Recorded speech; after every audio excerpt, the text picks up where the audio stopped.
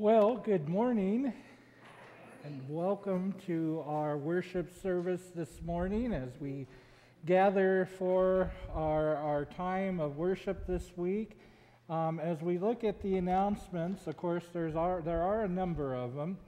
Um, we are scheduled to have, well, confirmation will not be meeting in person today. We're going to be meeting via video uh, uh, presentation, but uh, and we'll reassess when we meet again on the 13th. Um, we will have thir- or Tuesday morning Bible study. We will have that on Tuesday morning, but we won't have the Wednesday evening Bible study just because it's so close to Thanksgiving this week. Um, of course, Sunday school continues to be uh, suspended at this time. Um, when we resume Sunday school, whenever that might be, uh, we'll reschedule the time. Today we would have handed out Bibles, uh, but we'll wait till Sunday school is resumed and, and, and, uh, and have a schedule Sunday uh, to hand out Bibles at that time. Um, next Sunday is the first Sunday of Advent, and of course, with that, we will uh, have the Advent wreath here, and we're looking for anyone, any individuals or families who would be interested in lighting the Advent wreath as well as a, a brief reading, there's a sign up sheet in the back there and in the entrance area as you come in. If you are interested, we need uh, uh, volunteers for the next four Sundays and uh, uh hopefully then for Christmas Eve as well. Um, right now, the schedule is, is to have two Christmas Eve services. I know and sense of the, there's been a lot of anxiety out there just because of everything of what we're in right now with this pandemic. And I know area, other area churches are canceling worship or modifying.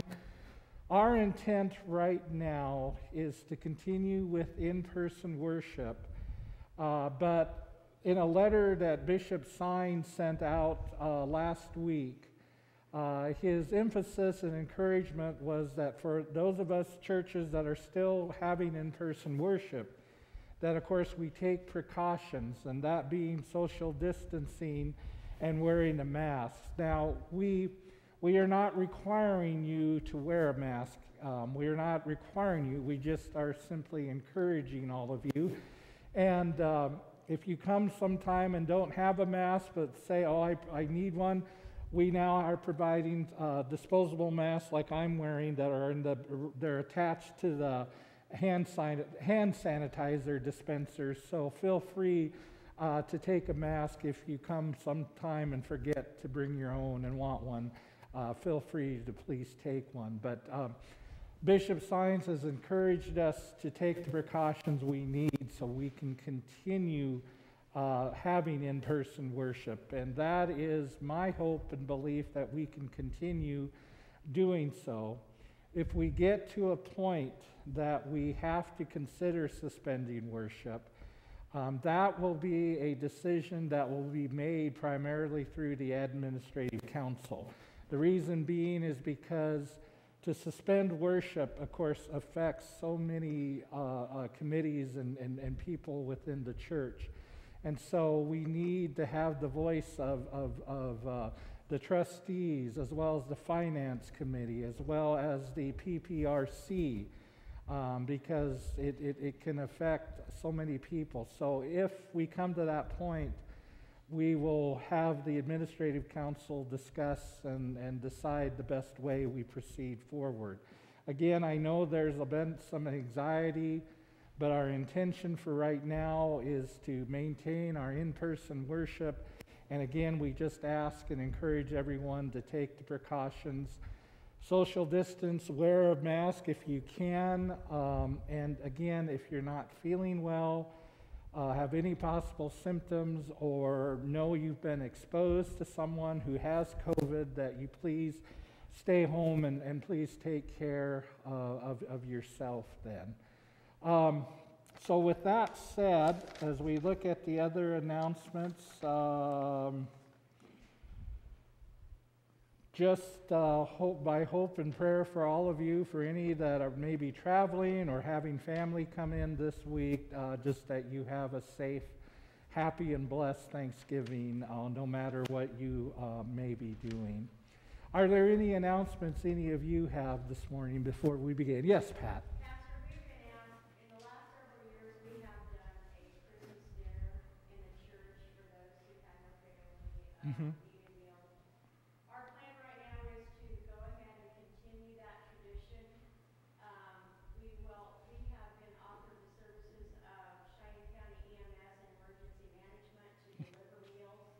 Okay. Um, In the past, we have delivered to the hospital employees, to the sheriff's department, police department, dispatch, and, and I think we've had forty-some here for dinner last year and we delivered out, what, almost thirty meals, I think.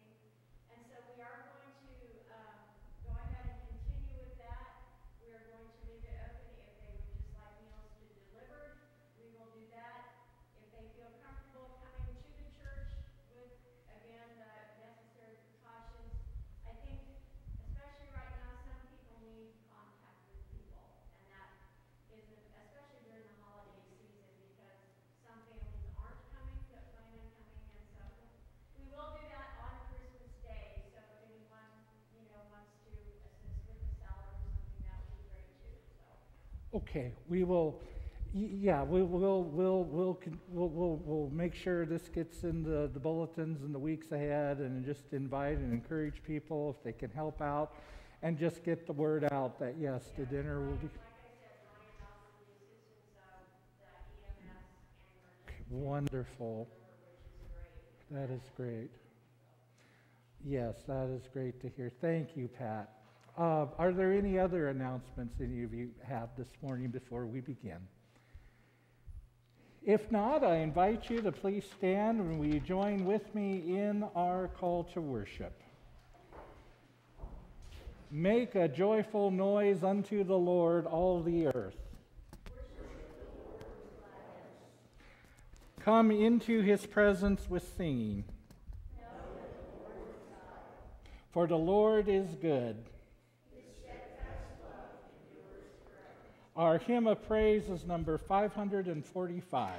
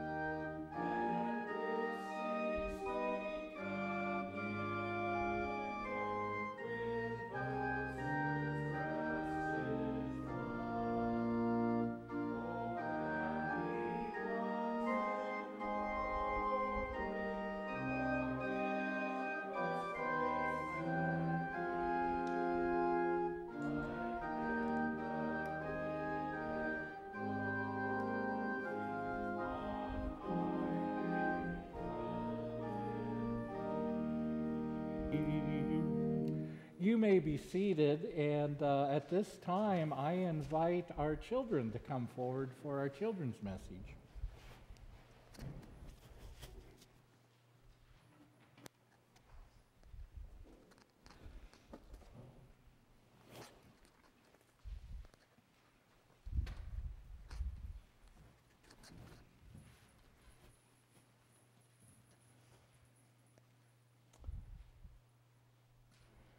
Well, good morning to all of you. Thank you for coming up this morning. I'm glad you're all here.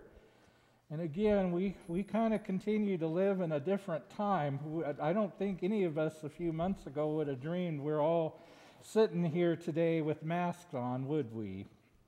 Well, in a little bit, I'm going to read a passage from the Gospel of Matthew. And Jesus is going to talk, and some of the stuff that you hear him saying might seem a little weird because he's going to talk about sheep and goats, and he's going to talk about separating them out. But I think the most important thing for us to hear when you hear me read this passage in a little bit are some of the things that I'm holding right here. I've got water, a piece of flatbread in this hand, and I got my coat in this arm. Any idea what these all have to do or what they all have in common? Any ideas what they what, why I have these here today? Yes. What was that? yeah. Going out to eat at Subway, that's right, that's right. Yep, yep, yep, that, that's one thing. Are there other things that this has in common that why I might have this here? Any ideas? Well, you're going to, like I said, and hear this story that Jesus tells us in Matthew. Like I say, he's going to talk a little bit about sheep and goats, but the most important thing is he's going to talk about saying that uh, he, he's going to say something to the disciples, and it's this. He says, Whatever you do for the least of my brothers and sisters, you also do for me. Any idea what that might mean? What he means is whatever we do to somebody that we might think as being less than us ourselves, that whether we help them or we don't help them, it would be as if we're, we're doing those things to Jesus. And so, what he's saying is if you help someone who needs help, you're not only helping them and doing, doing an act of, of, of love and compassion, but you're doing something that, that would be like if you did the same for Jesus. And then he goes on and he says, and here's how you do this. Because he asks them the question, you know, when you help those in need, you also help me. And so the disciples, they ask Jesus this question Well, Jesus, when did we help you? And he says, When you gave the person that you saw who was hungry something to eat you, you, you, you gave me something to eat. When you gave someone who was thirsty water to drink, you also gave me something to drink. When I didn't have enough clothes on and when I was cold and you gave me clothing to stay warm, you helped me by staying warm when you gave me a coat. And then one of the most important things he said is when you welcomed the stranger, when you welcomed the person you didn't know or ever see before, when you welcomed them, it was like you were doing the same to me. Now, I wanted to bring a welcome map, but I couldn't find one. But what I'll say is, you know, I, have I've lived here since June, and, and I've been kind of, I was kind of a stranger when I first came here. But so many of you have welcomed me. And when you welcome a stranger, you're doing the acts of what Jesus would do. And that's what he wants us to remember and do.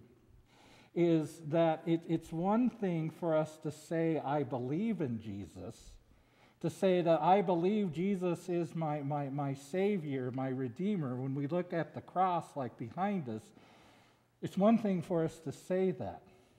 But what Jesus wants us most importantly to remember is to always be sure we're doing the things he taught us.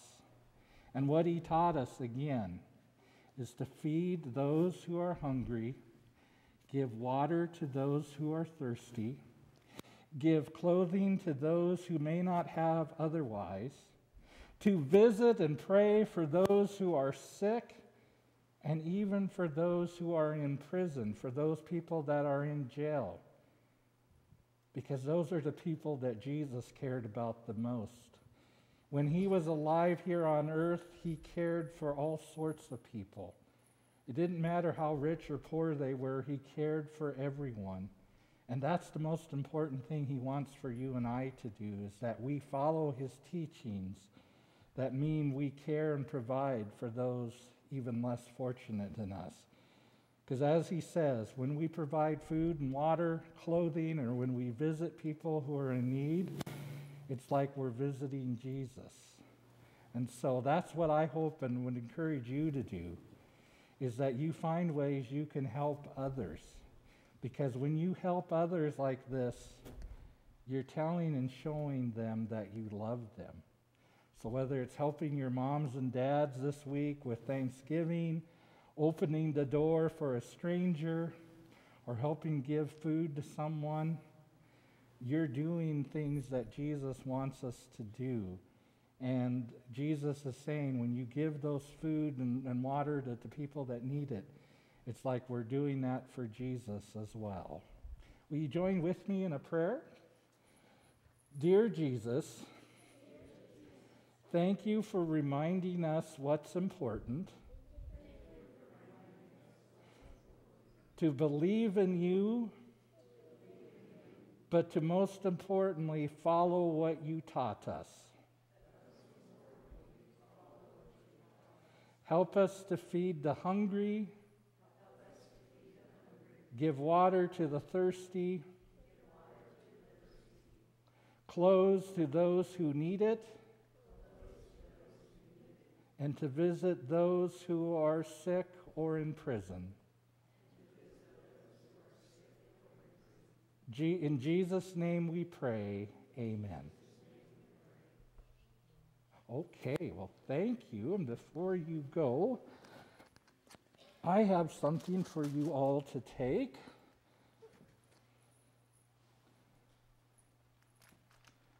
There you go. Thank you. There you go. Thank you. Okay.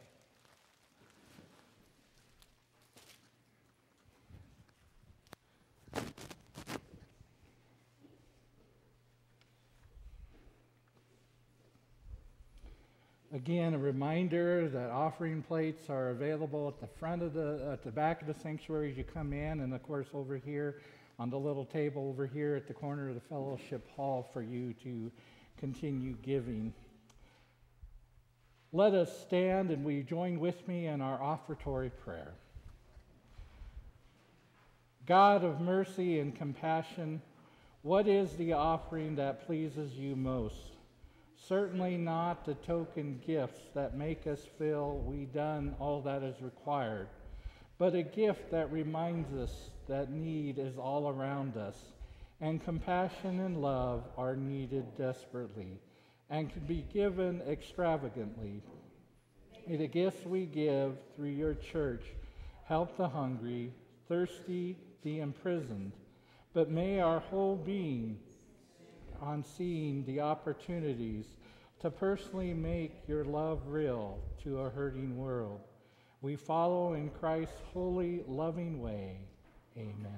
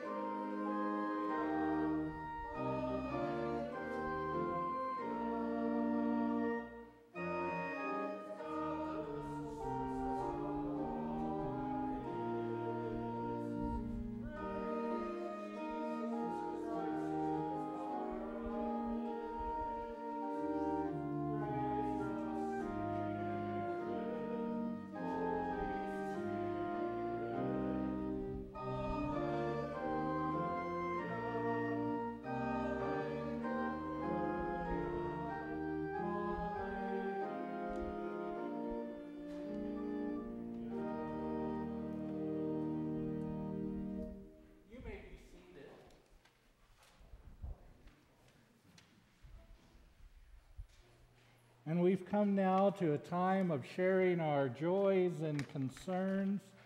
What joys or concerns do you have this morning?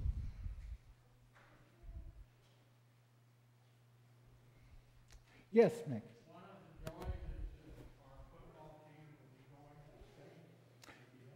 Yes, the football team will be going to, to state uh, this coming weekend on Saturday. So we want to pray for them for safe travel and, uh, and, and for the game, of course, and uh, just are thankful for what, what a great year uh, they, they've had so far, and we want to continue to pray for them. Are there other joys or concerns? Well, together, let us, let us approach God in our time of prayer. Let us pray.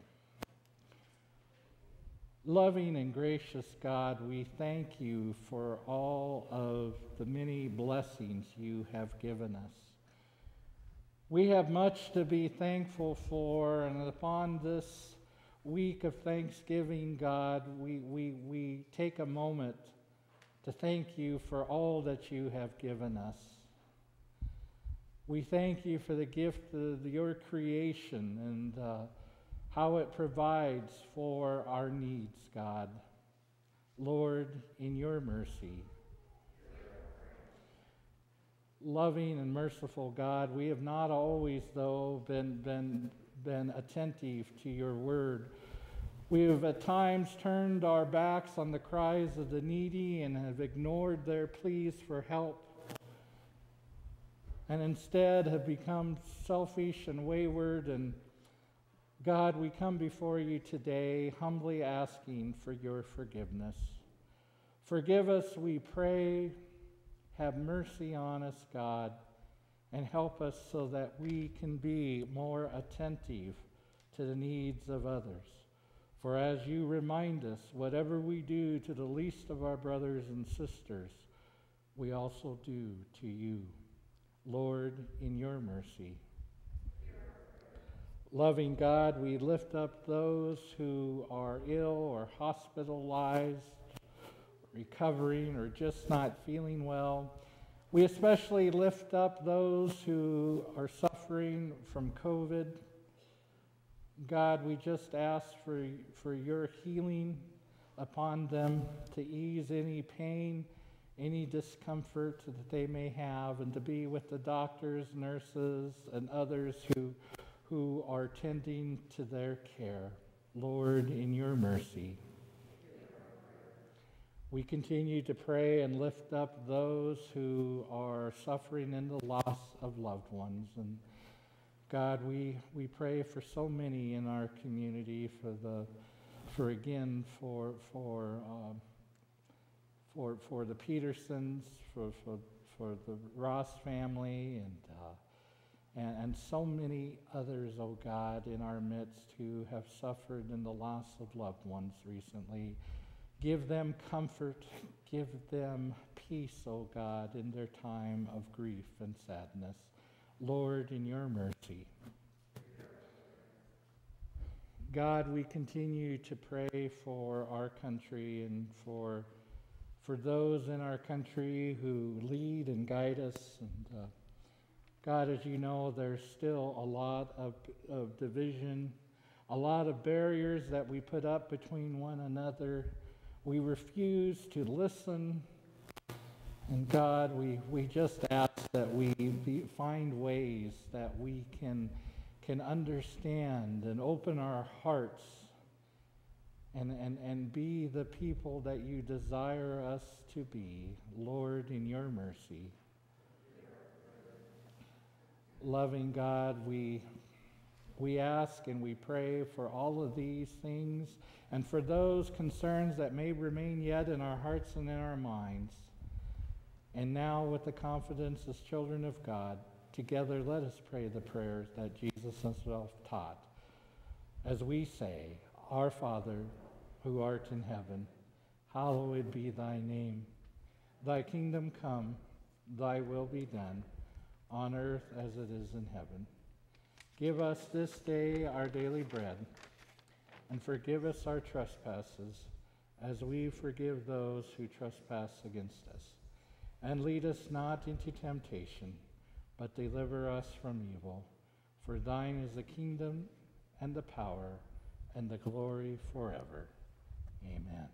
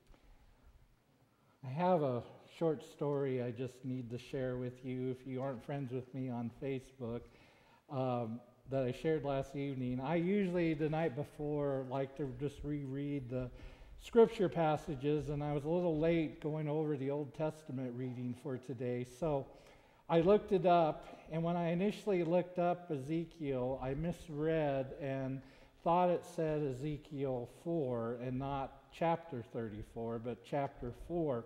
So I started reading verses 11 through 16 in chapter 4. I'm not going to tell you what's in there, but when you have time on your own and want to, take a look at those, because I will just tell you, as I started reading those passages, I kept thinking to myself, there is no way I am reading this for tomorrow morning, but I'll let you discover what those verses are in that particular passage.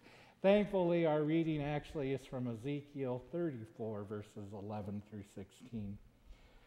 For thus says the Lord God I myself will search for my sheep, and I will seek them out.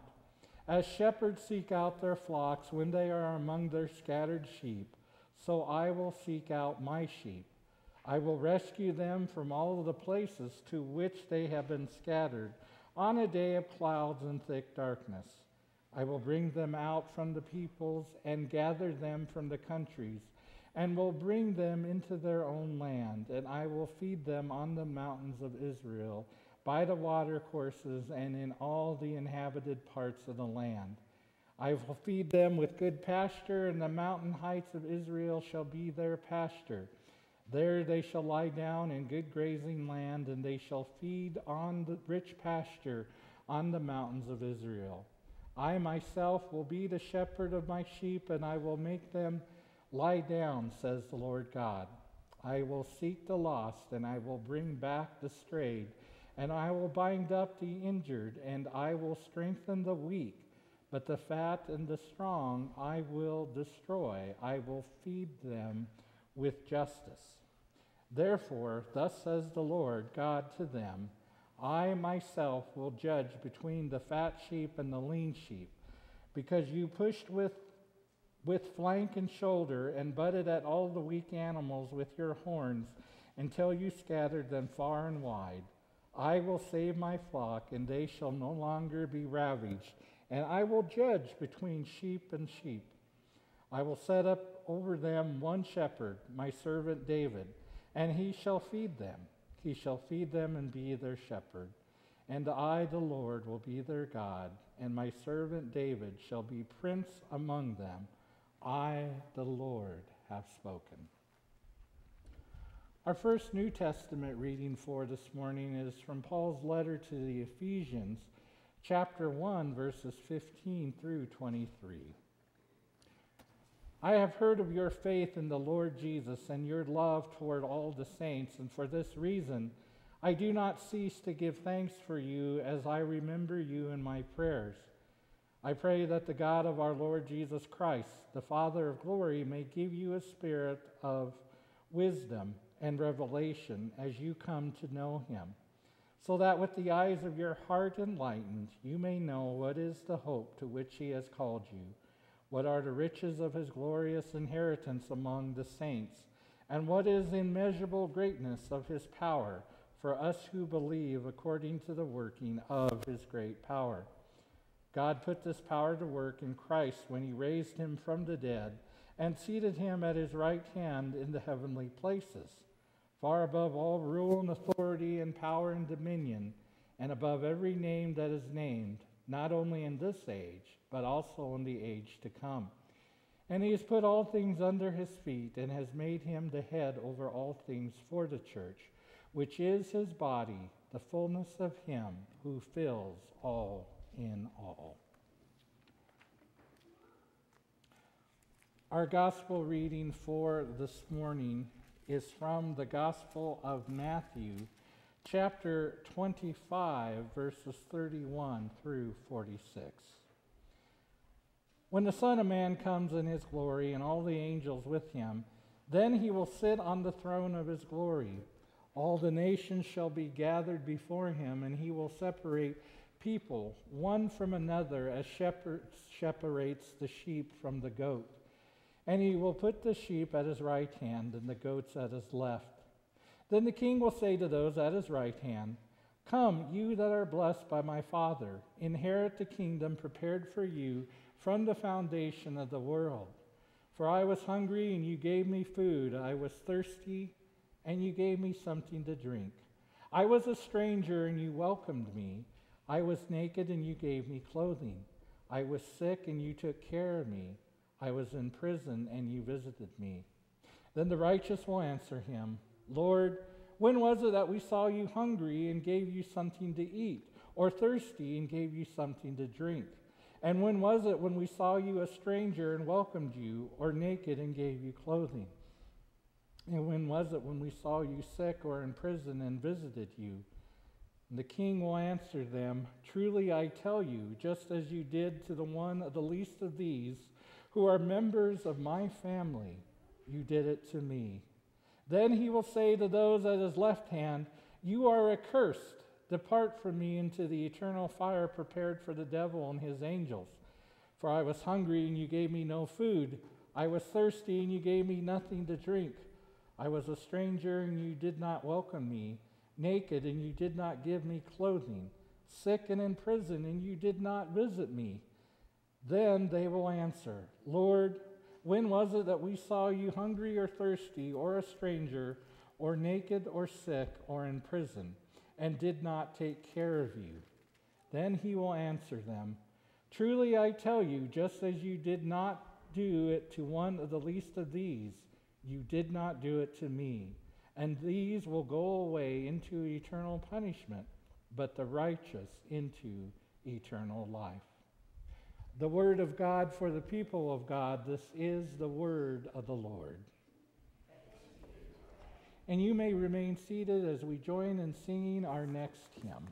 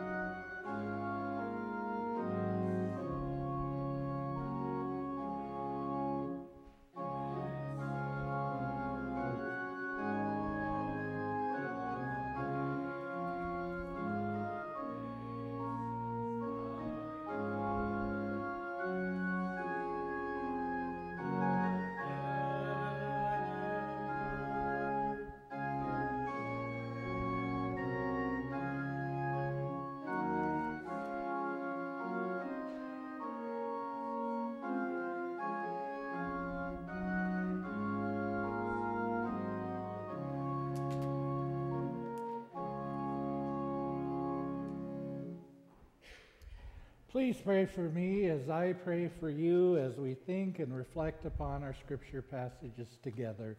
Let us pray.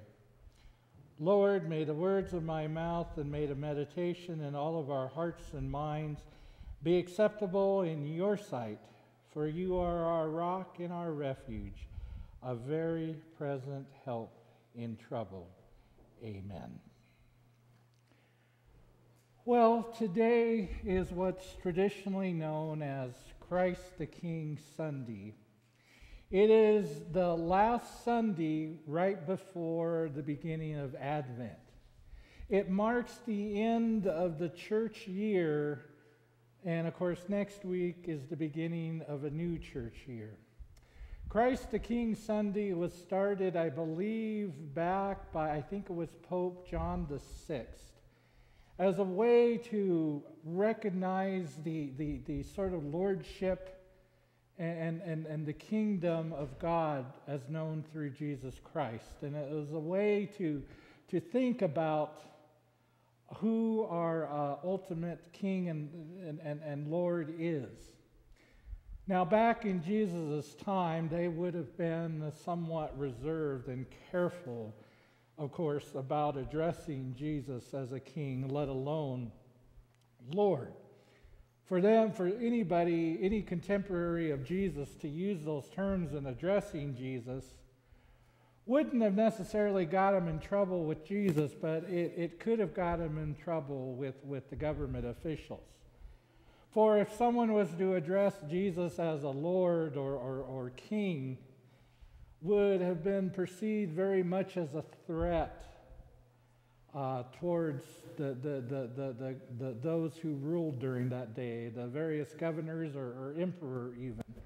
And so people were, were, were always a little mindful and careful about addressing Jesus as Lord, let alone King. But nevertheless, we, we, we, we celebrate and we observe today as Christ the King. And other ways that we recognize and understand Jesus, of course, as Christians, is we recognize and see Jesus as our Lord and Savior. Some will even go and say our personal Lord and Savior. And we often will ask the question to others. In our faith, we will ask others and ask them the question do you accept Jesus as your Lord and Savior, or have you accepted Jesus as your Lord and Savior? That's an important question to ask. The issue, though, I see with asking that question is a lot of times when we ask others that question, or we, we ask it of ourselves do I accept Jesus as my Lord and Savior? That that's often all the further we go. That, that in, in today's lesson, like the other two previous passages we've heard from Matthew, going back two weeks ago, you'll remember we heard about the bridesmaids, the ten bridesmaids, and five of them didn't come prepared with enough oil. And what happens there is they get separated out. Five of them don't get allowed into the wedding party. And Jesus uses that kind of language and that, that story and that, that parable as a way of understanding what, what God's kingdom will be like, that there'll be a separation. And of course, last week we heard the, the parable of the ten talents. And we heard how uh, the, the, the, the, three different slaves. Two of them invested their money that they were given by the slave owner, and they got a return on their investment. They doubled what the slave owner originally gave them. But remember, that third slave didn't invest. He was too timid, for he was afraid that he'd lose the money that the slave owner gave him, and he simply hid it in a hole. And when it came time for accounting what they, what they all gained, and when the slave master realized that this one did nothing with his money, he was chastised and then separated and thrown out.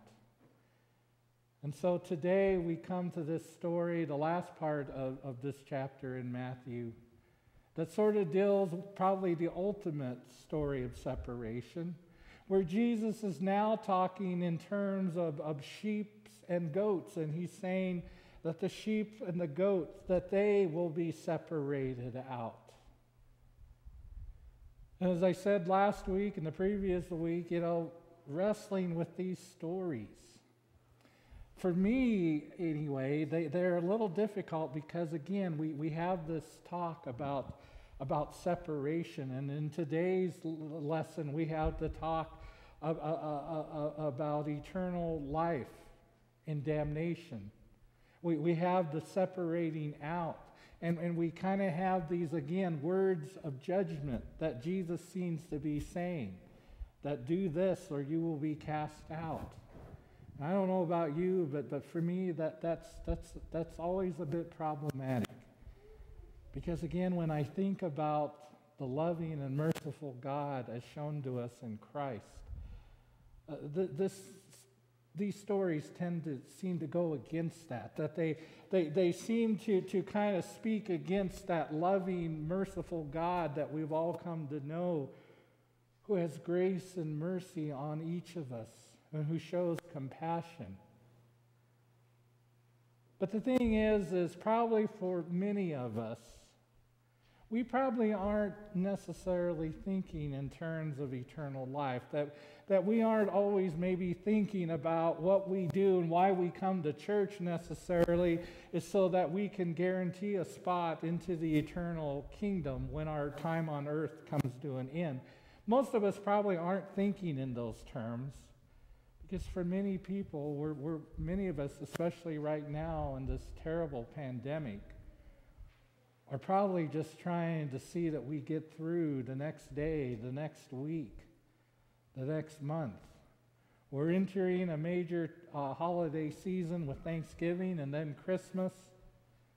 And many of us are worried ahead what will it be like this year? Many of us are looking and have had to cancel plans to be with family, or we've had to modify those plans. And I bet the question on many of our, our minds is, is how do I stay safe and how do I protect and keep my family safe? We know just how devastating right here in our own community how this, this disease has been. We have some hope, of course, of a, of, a, of a vaccine or several of them that are on the horizon, but they're going to take a bit to get distributed. But it sounds like that, that there, there's pretty good effectiveness, and so we can hope that once those vaccines are out, that we can see, start beginning to see our way out of this pandemic. So we might, we, we might be thinking in those terms, but probably most of us, like I said, are just thinking how we're going to get ahead in the next week, month. But Jesus tells this story today where he again says that the kingdom of God is like a king who has the goat and sheep, and he separates the sheep to his right hand and the goat to his left. But then he starts asking and saying this. He says, you know, that, that those who are the sheep, they are the ones who ministered to him. Jesus says, you know, these, these sheep, you are the ones who ministered to me for Whatever you do to the least of my sisters and brothers, you do also to me. And so when those disciples and those others who listened to him say this, they were puzzled. And so they asked him, Well, Jesus, when, when, did, we, when, when did we minister to you? When did, we, when did we do these things to you? And Jesus says, When you gave food to the one who was hungry, when you gave water to the one who was thirsty, when you provided clothes to the one who was naked, when you visited the one who was infirmed or sick, or the one that was imprisoned, you also did the same to me. For you are ministering whenever you minister to the least of my sisters and brothers you are also doing the same to me. And then he goes on and he says to those, the goats, he says, You will be cast out. You will be thrown into the eternal fire because you did not care to minister. You didn't do the least to my brothers and sisters, and because you refused to do that, you also refused to do the same to me. And he says the same thing. When you refuse to feed the hungry, the thirsty, clothe the, the naked, or visit the sick, infirmed, or imprisoned, you also chose not to do these things to me. And so these are sort of some tough words. We have, in our Tuesday morning Bible study, of course, have been studying the Gospel of John. And so far, we have talked about two different miracles that Jesus provided in healing, two different uh, blind persons. And what we found in those stories is that when Jesus healed them, the response that he got from the religious community of that day wasn't necessarily one of amazement saying, My goodness, you, you, you healed this man. He can see. What a miracle. He didn't get that response. Instead, he got a response of, of, of resentment and of anger. Because when they heard that Jesus healed this one blind man, the first words on their mind, the first question they asked and, and said was, How did he do this on the Sabbath? For he knows better. You don't do any work, you, you don't heal on the Sabbath. The Pharisees and the other religious leaders of the day, they weren't concerned that Jesus healed a person that was in need. They didn't care about that. They didn't care that he performed a, a miracle right in front of their various eyes. They, they were more concerned that he broke the law. They were wondering, first of all, you'll remember the, the, the one story when the one blind man's healed. The question they're asking is what caused him to be blind in the first place? Was it his family or something he did? They were looking more at, well, what caused him to be blind? Something sinful in his background must have caused that. And then, even when he was healed, they still came to him and they said, Who healed you? And the blind man said, Well, I wasn't, I, I wasn't sure. And they went to his parents and said, Did you see who healed them? And they said, No. Most likely they knew and were afraid they would get Jesus in trouble. They were overjoyed, the blind man and his family, I'm sure, that he could now see, but they also were well aware that the religious leaders back then, they didn't share the same joy and happiness that his family shared. They again were more concerned with the religious order and the preservation of that and that Jesus broke the law, and so they were out to get him. As I said, we hear passages like we heard today in Matthew. And we hear the importance of, it, of, of, of knowing, believing, and accepting who Jesus is as our Lord and Savior, as our King. And, and the term king is something we're probably going to hear over the next few weeks as we go through Advent. Jesus as the king. We, we, we, we give attributes of royalty to Jesus King, the Prince of Peace, our Lord and Savior. And again, we ask those questions Do you accept who Jesus is? Our very questions at, at, at, at, at, at, at, at, at a membership ritual or service that we have in our church, whether it's somebody new joining the church or when a, a, a young member is confirmed, one of the primary questions we ask them is Do you accept Jesus as your Lord and Savior? And of course, what Christian is, is going to say no? We're, we're all going to definitely say yes. But for some, unfortunately, that's all the further they go. To think that the, the, the, gates of eternity, that eternal life and salvation rest just in the sole belief that I accept who Jesus is. But what we ignore and are not paying attention, that I think this passage in Matthew reminds us to, is this a reminder to, to, to all the things that Jesus taught us to live with one another. And so in our life, when we refuse to help and, and, and, and refuse to hear the cries of those who are hungry.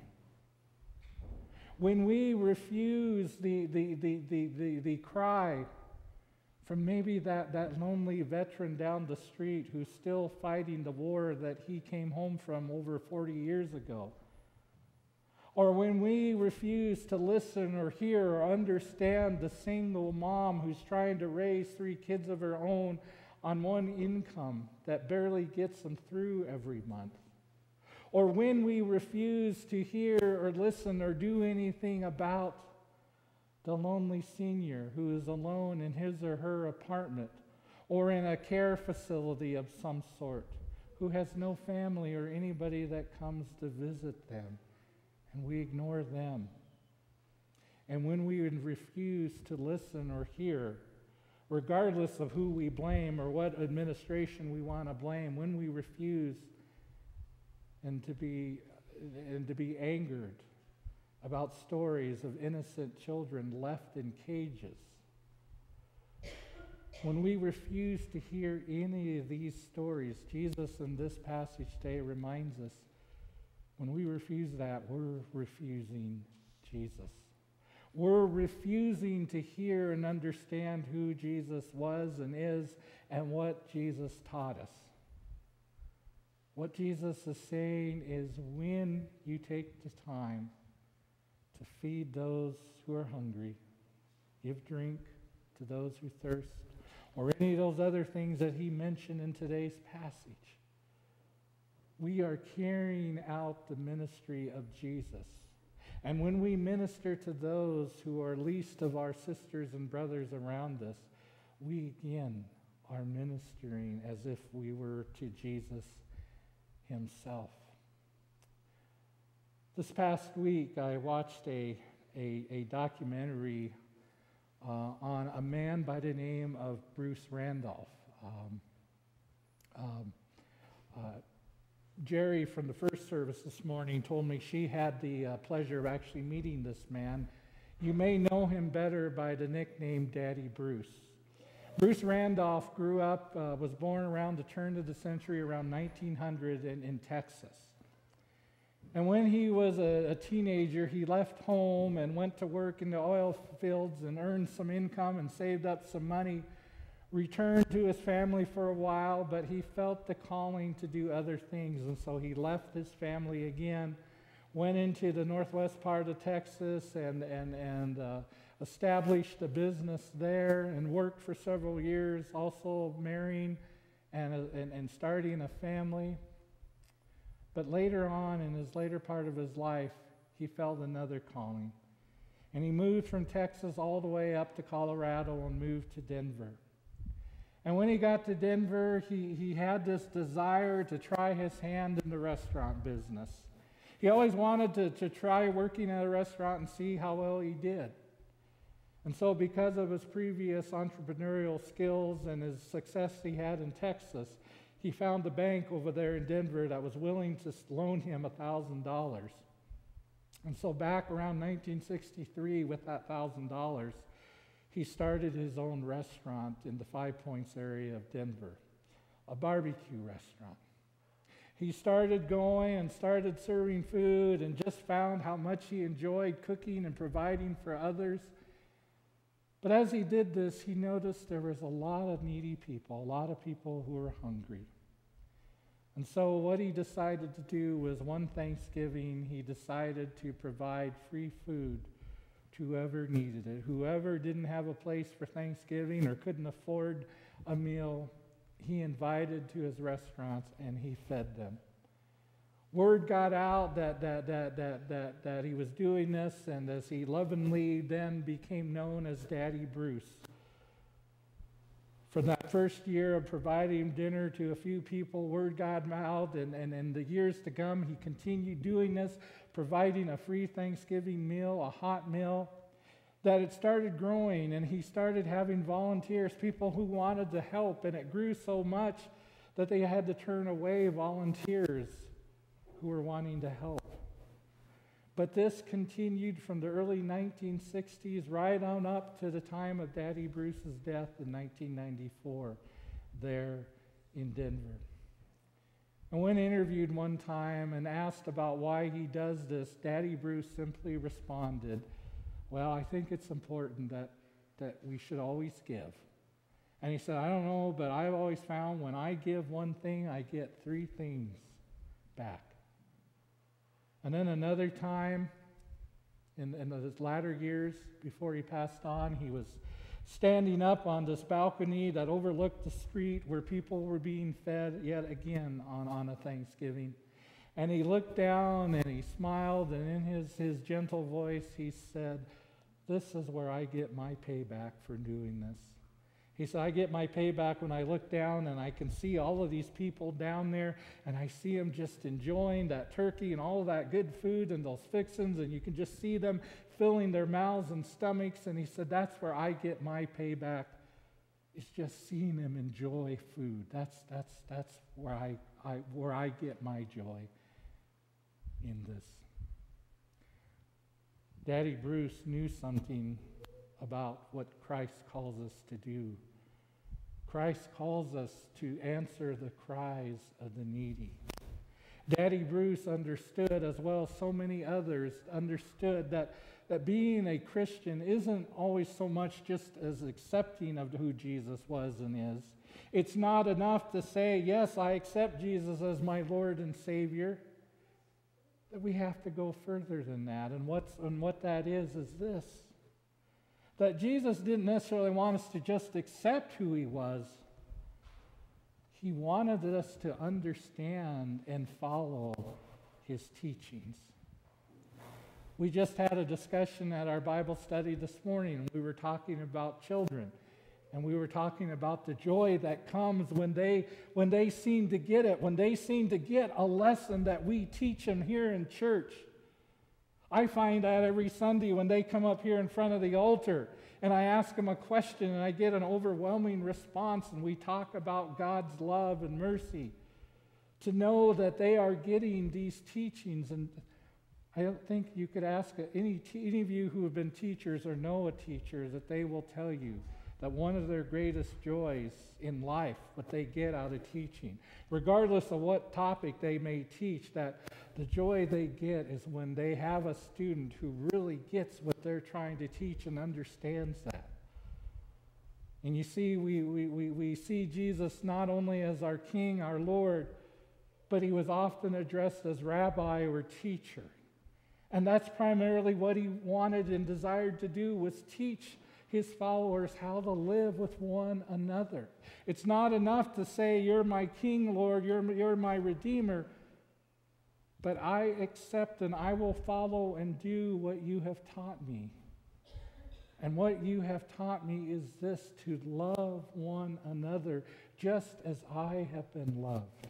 As I said before, it's that growing in God's love where we ourselves become perfected. My mother here a, a, a, little bit ago shared a story here that she had recently with a woman that was asking her about herself and she asked my mom well how many children do you have? And my mom said well i had seven. I you know one, one daughter was killed in a car accident but i had seven children. And this woman's response was you had seven children how could you do that? How I don't understand how people can have so many children. You know, I only had two children, and I found I barely had enough time for those two, let alone seven. I just don't know how one can do that, how any set of parents can do that. To have so many kids, to think the time and commitment, but, but the love too. And, you know, my mom just simply smiled and responded, Well, no, maybe having so many kids, maybe it kind of limited my time at times and made things kind of tough. But you know, here's what I found love isn't a, a, quantitative value that we only have so much of, that, that, that we can only give out so much. She said, I find that, that when you, you, you, you give out a little bit of love, that it grows inside you and you have just that much more that, that you find and you have the circle more that you love, you have even more love to give out. It is not a, a, a, certain amount that we're given and then we run out. God gives us an infinite amount of love. And I think That's what Jesus is really trying to tell us in this story. To love one another as we have been loved, because again, as Wesley would say, that is being perfected in love. That doesn't mean our lives are perfect or we're perfect in every sense of the way, but that our love is perfect. That we understand that our love just shouldn't go to those who are in our innermost circles, to those that look or talk or dress or act like us or share same beliefs, but it goes to those who may be different, even the complete stranger that we are called to love. We can be thankful for the people in our world, the Daddy Bruces of our world, and others who saw the needs and the cries of the stranger and answered those cries and have left us a legacy and an inspiration to follow. And I'm glad, as Pat mentioned, that we too are, are do, continuing to do the same here and that we will provide a hot meal for anyone that needs it on Christmas Day. That's part of welcoming the stranger. That is part of loving others because we have been loved. So, again, it's one thing to say, Jesus is my Lord and Savior. Yes, we should say that and believe in it. And when someone asks you, Are you a Christian? Do you accept Jesus as your Lord and Savior? Yes, say yes. I accept it, but I also show it. And I show it by loving one another just as I have been loved. Thanks be to God for our great teacher in reminding us what our faith should be one that calls us again to love one another. Because when we do that, when we love the least of our sisters and brothers in Christ, it's as if we are loving Jesus himself. Amen.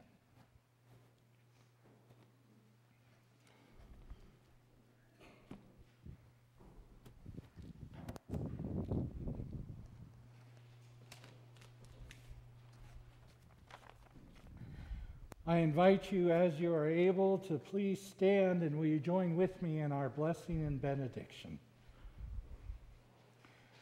I bless you with joy. In the midst of suffering and distress, And may all of you have, again, a very happy and safe Thanksgiving. Let us join in singing our closing hymn, number 131.